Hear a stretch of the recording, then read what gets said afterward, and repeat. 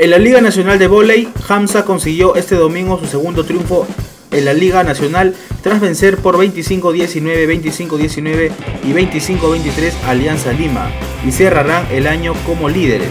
Alianza Lima tuvo un complicado trabajo para tratar de, detener a la fuerza del ataque cubano de Regla Gracia y Zulián Matienzo, que fueron las líderes en el marcador individual con 17 y 13 puntos, seguidas por Mabel Olemar, con 11 unidades. En el lado del equipo blanqueazul destacó la oriunda de Puerto Rico, Neira Ortiz, con 10 tantos.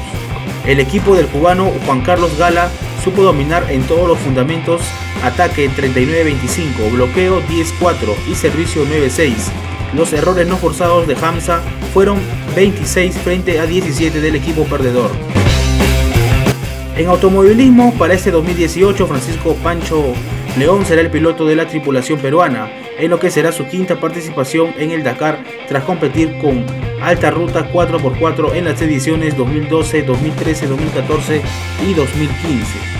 En conferencia de prensa realizada en el Hotel Westin de San Isidro, el equipo peruano Alta Ruta 4x4 ha sido presentado oficialmente como nuestro representante en el próximo Rally Dakar 2018 que se llevará a cabo del 6 al 20 de enero desde Perú.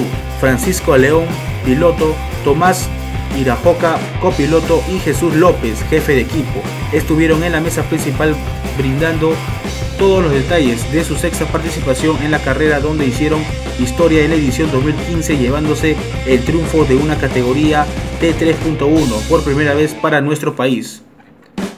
Para este 2018, Francisco Pancho León será el piloto de la tripulación peruana, en lo que será su quinta participación en el Dakar tras competir con Alta Ruta 4x4 en las ediciones 2012, 2013, 2014 y 2015.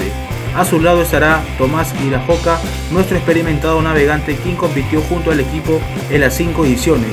Asimismo, Jesús López se encargará durante este nuevo reto de todos los preparativos y logística como jefe de equipo de Alta Ruta 4x4 para la nueva aventura en el 2018. El Rally Dakar 2018 largará desde nuestro país el próximo 6 de enero, tendrá un total de 14 etapas, 6 de ellas en Perú, recorriendo Perú, Bolivia, Argentina con cerca de 9.000 kilómetros de distancia. Nuestros representantes nacionales ya se encuentran listos para afrontar este gran reto por sexta vez los pondrá en los ojos del mundo en busca de superar las majestuosas tunas peruanas y el recorrido sudamericano.